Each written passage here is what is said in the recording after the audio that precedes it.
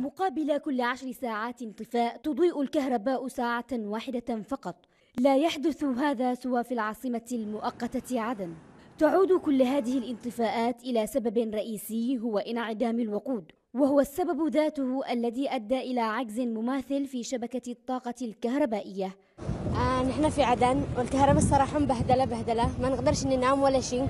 ويعني والذي عند نحن أمراض داخلة البيت معانا أبي تعبان مثلا. يرتفع له الضغط. وده واللي يسعفوهم أهلهم المستشفيات وده. يعني إيش هذه البهدلة؟ نحن فين عايشين؟ أزمة خانقة في المشتقات النفطية وتوقف تام لمعظم محطات الوقود الحكومية. ساهم في عودة انتشار ظاهرة السوق السوداء مجددا. نشتريها من خمسة وخمس ونبيع الدبة بستة. يعني قدامك دبتين ب 12 الآن بعتها واستلمتها قدامي هنا تباع مادة البنزين بأسعار مضاعفة مما يثقل كاهل المواطن ويضاعف من معاناته.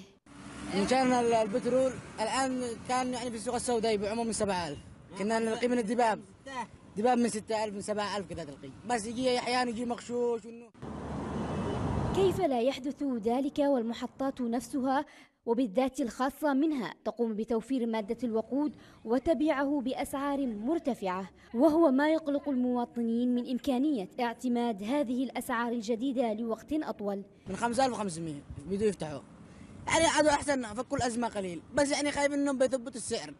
كيف بيتحمل المواطن على 55 صنعان يعني لو في المناطق الثانية الذي المناطق الذي فيها حروب من 5200 يدبوا كيف المواطن اللي داخل البلاد المحررة؟ من 5500 هذه المرة يبدو تأثير الأزمة باديا على أداء مرافق حيوية عديدة لا سيما المستشفيات وما يهدد بتوقف بعضها عن العمل وتعريض حياة المرضى للخطر. نحن نستهلك باليوم الواحد لو يعني في حالة استوى أزمة حادة انطفاء 24 ساعة هذه نحن نتأزم ذلك يعني حتى ال 15000 لتر ما تكفيش مدة شهر. بس مع أن الانقطاعات فترة وفترة نحاول قدر الإمكان أن نمشي بالكمية الموجودة معنا.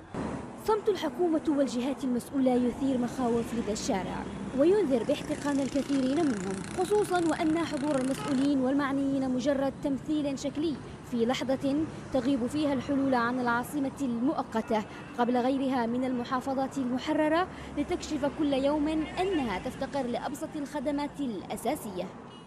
الكهرباء ومن جديد بعد تحسن دام لأسابيع تعود الأزمة مرة أخرى ولنفس الأسباب انعدام المشتقات النفطية فيما تظل الحكومة في غيابات الجب مروى السيد قناة بلقيس عدن.